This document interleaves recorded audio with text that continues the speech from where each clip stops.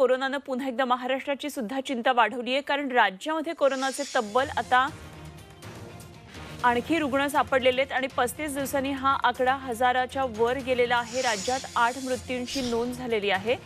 साधारण कोरोनाचे तब्बल बाराशे रुग्ण आता राज्यात सापडलेले आहेत आणि आठ मृत्यूंची नोंद आहे. ॲक्टिव्ह रुग्णांची संख्या ही या आठवड्यामध्ये नऊ टक्क्यांनी वाढली आहे. आणि मुंबईमध्ये कोरोनाचे तब्बल चारशे नव्वद रुग्ण सापडलेत. मुंबईमध्ये शून्य मृत्यू आहेत. मात्र राज्यामध्ये गेल्या चोवीस तासामध्ये ओमायक्रॉनचा एकही रुग्ण आढळलेला नाहीये.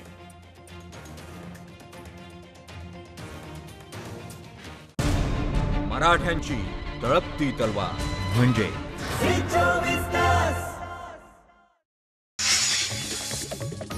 ओमायक्रॉनचे तीन संशयित रुग्ण नांदेडमध्ये आढळलेत आणि हे तिघेही नांदेडमधल्या हिमायत नगरचे रहिवासी आहेत. दक्षिण आफ्रिकेतून ते तिघे जण आले होते. त्यांची कोरोना चाचणी पॉझिटिव्ह आली आहे ओमायक्रॉनचा संशय असल्यानं त्यांचे नमुने आता तपासणीसाठी पुणे प्रयोगशाळेमध्ये पाठवलेले आहेत. ओमायक्रॉनचे रुग्ण वाढलेले असले तर शाळा बंद करण्याचा निर्णय घेऊ शकतो असा शालेय शिक्षण मंत्री वर्षा गायकवाड यांनी निर्णय घेतलाय. तर ओमायक्रॉनचा धोका वेगानं वाढतोय आणि त्यामुळे शाळा संदर्भांमध्ये राज्य सरकारनं पुनर्विचार करावा असं आवाहन केंद्रीय आरोग्य राज्यमंत्री भारती पवार यांनी केलंय.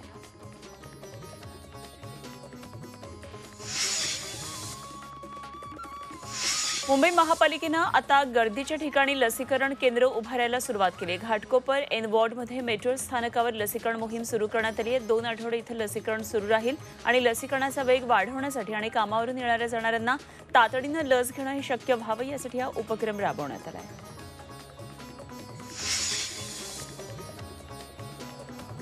करीना कपूरची तब्येत आता ठीक आहे. मात्र तरीही करीना पंचवीस डिसेंबरच्या कुटुंबासोबतच्या डिनरला हजर राहणार नसल्याची चर्चा आहे. पंचवीस डिसेंबरपर्यंत करीनाचा क्वारंटाईन कालावधी संपत नाहीये. त्यामुळे करीना डिनरला कुटुंबासोबत नसणार आहे. त्यामुळे पहिल्यांदाच ख्रिसमस डिनर पार्टीला करीनाशिवाय सैफ मुलांसोबत डिनर पार्टी करणार आहे.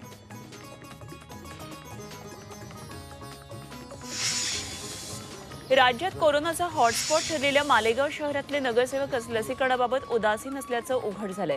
मालेगाव महापालिकेमध्ये एकंदर एकोणनव्वद नगरसेवक आहेत आणि त्यापैकी अवघ्या अठ्ठावीस नगरसेवकांनी कोरोनाचा दुसरा डोस घेतला. तब्बल पावणे दोन वर्षानंतर महापालिकेची प्रत्यक्ष महासभा भरली आणि या सभेसाठी लसीकरणाचे दोन डोस बंधनकारक होते त्यामुळे हे वास्तव समोर आले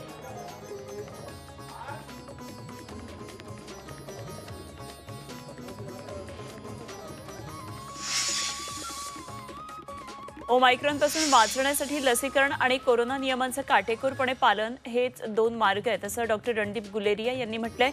केंद्र सरकारनं राज्यांसाठी मार्गदर्शक तत्व जारी केलेली आहेत. ओमायक्रॉनपासून संरक्षण करण्यासाठी लसीमध्ये बदल केले जाऊ शकतात असंही डॉक्टर गुलेरिया यांनी म्हटलं होतं.